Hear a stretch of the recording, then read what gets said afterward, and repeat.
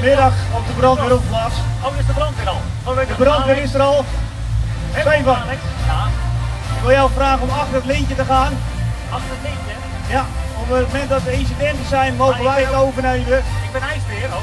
Je bent ijsbeer, maar voor je eigen veiligheid toch achter het lintje. Want zo meteen komt de brandweer aanrijden. Eh, allemaal welkom. Luchthaven Brandweer heeft eh, drie kazernes voor de vliegtuig brandbestrijding. En op het moment dat er een incident is, maakt de toren een alarm. Dan gaan alle drie posten rijden. Per groep hebben we drie crashtenders. En één crashtender heeft eh 12.500 liter water bij zich. Het gewicht is 47 ton.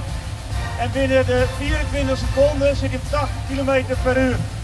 Topsnelheid is 130 km per uur. Ik heb op dit moment nog geen alarm gegeven, dus de mensen zitten nog eh stand-by te wachten. Eh, zij krijgen na alarm drie minuten de tijd om ter plaatse te komen en moeten dan hun inzet doen. Dat betekent dat wij in 50 seconden deze kleding in één keer aan moeten hebben en snel mogelijk instappen. Ik zal de mensen even te plaatse roepen.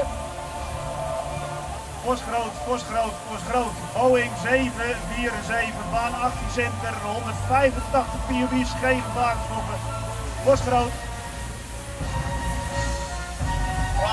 Postgroot. Baan 18 center, Boeing 747. Goed sloten onderweg. Nou, u hoort het. De plus stond. Standaard opstelling voor. Nou, u hoort eh, de collega bevelvoerder. Die herhaalt eerst het bericht zodat we weten dat we het over hetzelfde hebben. Opstelling te plaatsen. En hij meldt zich te plaatsen. En elke crashtender zal een inzet doen.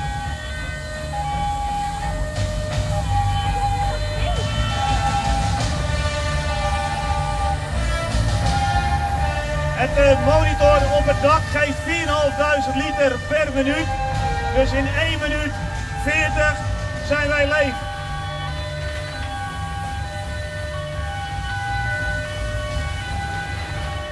Procent bij. 90% knockdown. 90% knockdown. Dan moeten we na 1 minuut aankomst krijgen. Dat betekent dat de grote branden uit zijn en dat de manschappen naar buiten moeten om met stralen de restbranden te blussen. Nou, onze voertuigen zijn rood. De meeste voertuigen op de luchthaven zijn geel. Dat heeft een reden. LVNL, de toren, kan ons daardoor beter zien. Maar moeten we buiten de luchthaven optreden, is voor de meeste mensen ook duidelijk dat het brandweerauto's zijn. Wilt u nog een herontsteking? Ja? De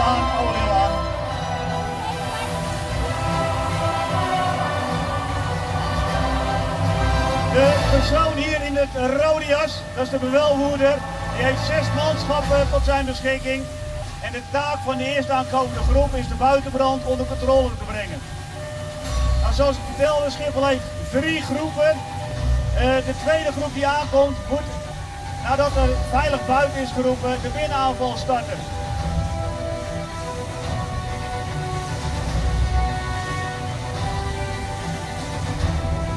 De mensen die hebben een mooi pak aan, dat is tegen de warmte, moet u eerlijk vertellen, het is ook warm. Eh, daarnaast hebben ze ademlucht op. En bij elkaar weegt dat denk ik rond een uh, kilootje of 18. Daarnaast, eh, die ademlucht zorgt ook dat je gewoon veilig kan ademen. Zodat je geen last hebt van gevaarlijke stoffen.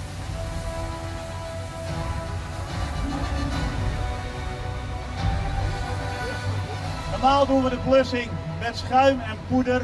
Nu doen we het alleen met water. Wij zijn het demo aan doen. Ons groepsloten, brandweer, geef maar in. Alle buiten. Sloten, brandweer, veilig buiten. Start binnenaanval. De andere twee posten staan nu strategisch in het veld, zodat we altijd die drie minuten grens weer kunnen halen. De bevelvoerder riep net naar de brandweer 1 dat het veilig buiten is. Brandweer 1 is een airport fire officer. Op het moment dat we twee van die rode jassen bij elkaar hebben, dan willen we graag weer één baas zien. En dan zetten we een officier bij en die kan weer vier bevelvoerders aan. Nou, de mensen trekken terug, hij heeft zijn taak buiten af. Nou, niet in de weg, Blijven wij. Heel goed. Ik vond het wel een hele geweldige uitleg van Alex en een topoefening. Pak nog een hartelijk applaus voor Alex en de brandweerman. Einde oefening, einde oefening, einde oefening. Ja, zo zijn we.